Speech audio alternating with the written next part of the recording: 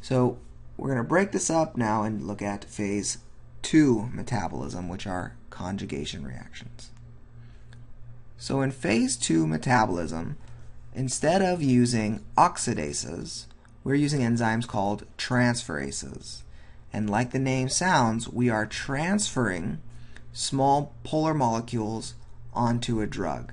And we're doing it to make them more water soluble.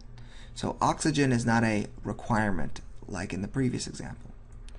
And so examples of these polar molecules that we like to attach, well, there's glucuronate, we have glutathione, we have, we like to attach a sulfate or an acetate from acetic acid, sulfuric acid, uh, whatever.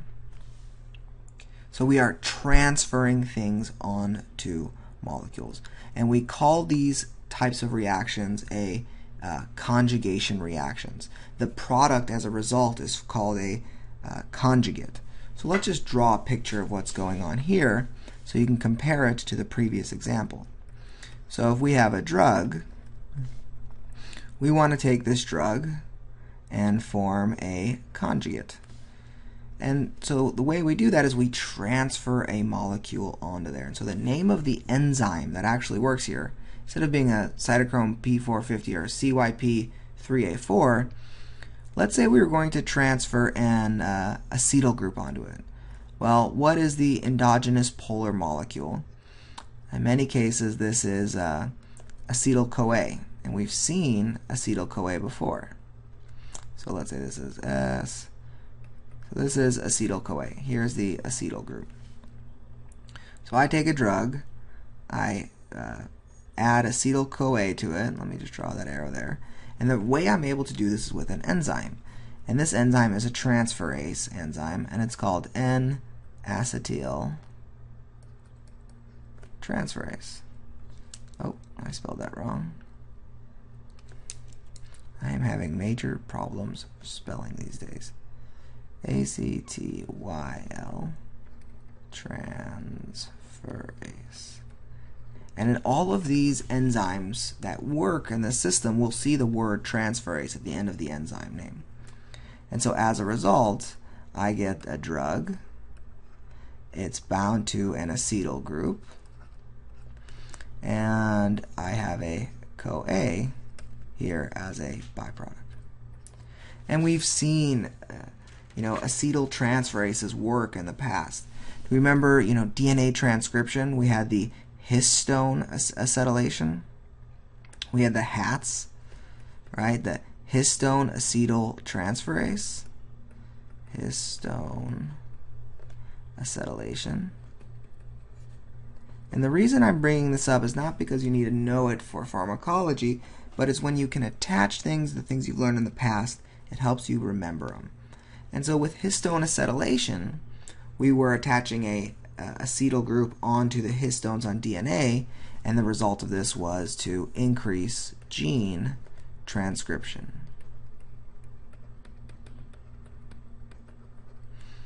All right, where else have we seen acetyl-CoA? Hopefully you're scratching your noggin and saying, oh, wait, wasn't acetyl-CoA in the Krebs cycle?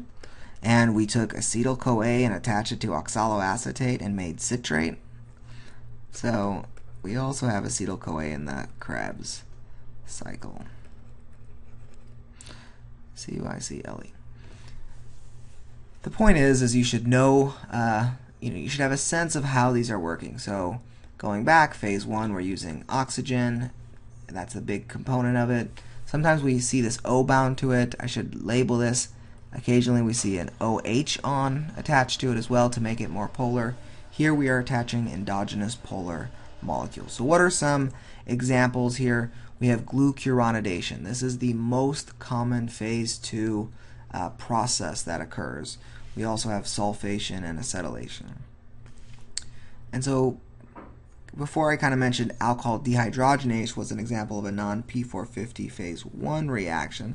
I wanted just to give you one example of a phase 2 reaction, and that is with acetaminophen or Tylenol. So 95% of acetaminophen or Tylenol is metabolized by phase 2 enzymes, and this is the one that is forms a non-toxic metabolite. Alright, so on the next slide, what we are going to do is just look at some of these enzymes. And I want you to just have an appreciation here. You don't have to really memorize too much. The first idea here is that the CYP3A4 enzyme, if this was a graph, a pie chart of the amount of drugs available now that are metabolizable, CYP3A4 metabolizes over 50% of available drugs. One of the other common CYP enzymes that metabolizes drugs is 2D6. Now, CYP2D6 we've actually mentioned in the past because it's famous for polymorphisms. And by polymorphisms, I mean it can do uh, this. Uh, this enzyme can do different things depending on someone's genes. And so we talked about codeine, how people were rapid metabolizers, right? And they take codeine, and if they have a really fast enzyme, they can take codeine, they can activate it, and form morphine at a rate faster than the average person. And this can be problematic, especially in children.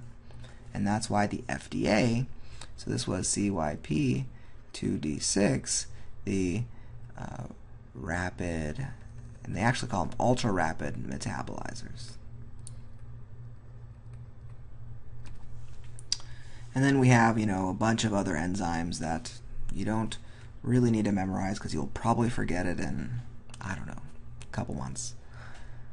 Phase 2 enzymes. Now, what I want you to become familiar with here is just the naming of it. So if you see this name, you'll understand what is the name of the enzymes that do glucuronidation. Well, the name of the enzyme here, and this is responsible for most of phase 2 metabolism, is you'll see it maybe abbreviated as UGT and it's it's actually a UDP glucuronosyl transferase and just see the word transferase in there and glucuronosyl and you'll know that's glucuronidation. This is actually the most common phase 2 reaction. This is the same process that's occurring with breaking down uh, red blood cells and the bilirubin. When we form conjugated bilirubin, this is what's going on. Now we have other enzyme names. So what is GST? Well, GST is glutathione S transferase. As the name implies, we are transferring a glutathione onto a molecule. And so that process is called glutathione conjugation. How about NAT? You should know this one. We mentioned it last time. This is N-acetyl transferase. It does acetylation. And SULT, all right, S-U-L-T, sulfotransferase. I just want you to get familiar with the names of the enzymes and how they work. And then we have a couple other ones here that I'm not going to mention right now. So hopefully this gives you a good appreciation for the phase 1 and phase 2 enzymes and how this, this works all together. Uh, to wrap this up, we have a couple of stop, think, and repeat questions. Just three here.